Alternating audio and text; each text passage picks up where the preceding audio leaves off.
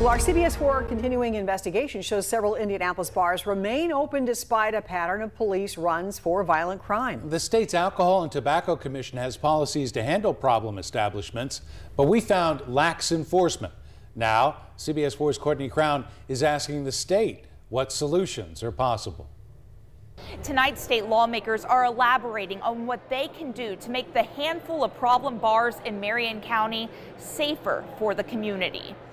I think that they've got the attention of everybody in this. State Senator Ron Alting says a Fox 59 and Indy Star investigation into the efforts at varying levels to curtail violent crime in Indianapolis bars is being discussed among lawmakers and agencies.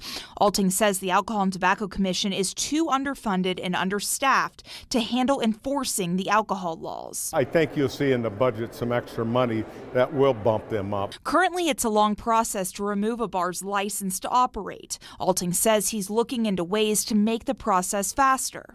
When the ATC sends in the papers of an infraction that they have caused, immediately they get their attorney to file the papers, and that delays it. And they can still keep open by law why they're they're going through the process. IMPD Captain Christopher Boomershine, who leads the unit patrolling bars, says current state law prevents police from holding owners accountable outside of alcohol violations. We can't charge a premises for being a nuisance bar under that statute if most of its violations are are acts of violence. Boomershine's encouraged to see the state's interest in addressing troubled bars. He hasn't heard from the ATC yet, nor Alting, but hopes to collaborate soon. We would like to see laws that, that allow an earlier intervention.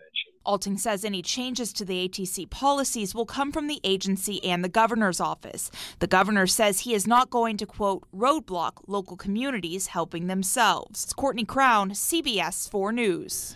You can find our extensive reporting on several Indy bars at CBS4Indy.com.